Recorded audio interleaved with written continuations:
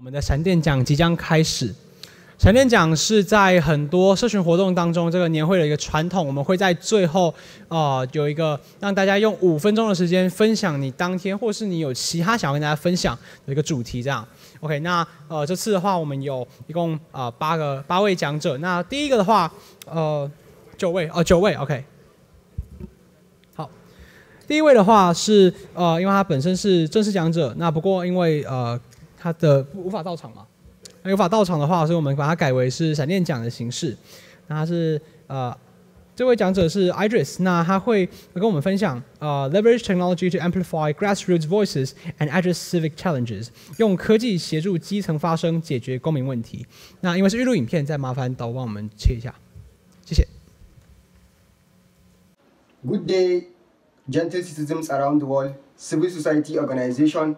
And everyone that is here with us. My name is Idris Bilyaminu Indasa. I am an active citizen, a civil leader, founder and CEO of YAP for Africa.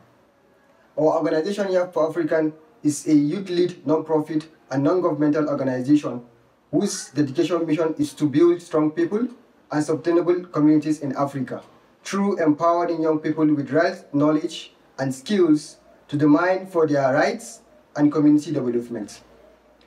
For almost seven years now, YAP for African has lavished technology, especially social media, to amplify grassroots voices, engage the government and public itself. The current digital technology has become a very powerful tool to uplift, amplify, amplified and support social change positively across different civil issues. However, the lack of knowledge regarding citizen, the lack of knowledge regarding civil participatory mechanism is one of the challenges that hindered the active involvement of citizens in the matters affecting their lives and communities, especially in sub-Saharan Africa.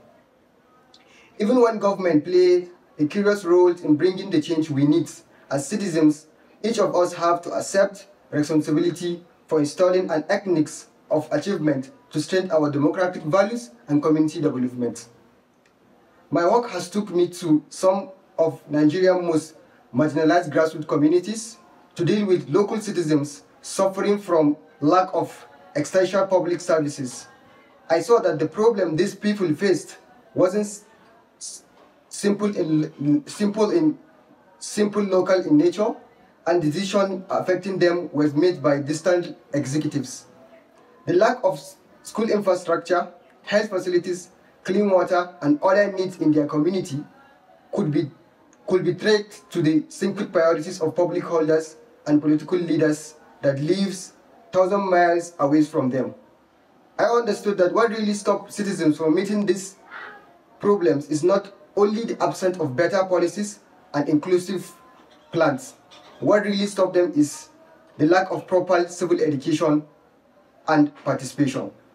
But through our homegrown initiative, that is the Community Action League project, CAL project. We have gained, we have, we have gained another way to obtain long impact by equipping and educating communities to actively participate in civil engagement, decision-making processes, democracy, and governments. We are working to enhance citizen participation in order to create an, an environment that's open accountability, transparency, and democratic governance as the grassroots communities. As we move on, our creativity and idea are expanding. That is why last year, in 2023, we initiated the civil tech platform named Morian Africa. The idea to the word Moria means voice. The idea is to amplify African voices through African voices through action public accountability in government and leveraging through digital platforms. As we move, as we know that accountability is one of the steps that must be taken to maintain and promote public confidence in any governance performance around the world. So our idea, Morian Africa, will not only serve as a civil tech platform, but will also work as a powerful force to fuel social change and strengthening democratic government through empowering citizens for civil participation and public accountability across our continent.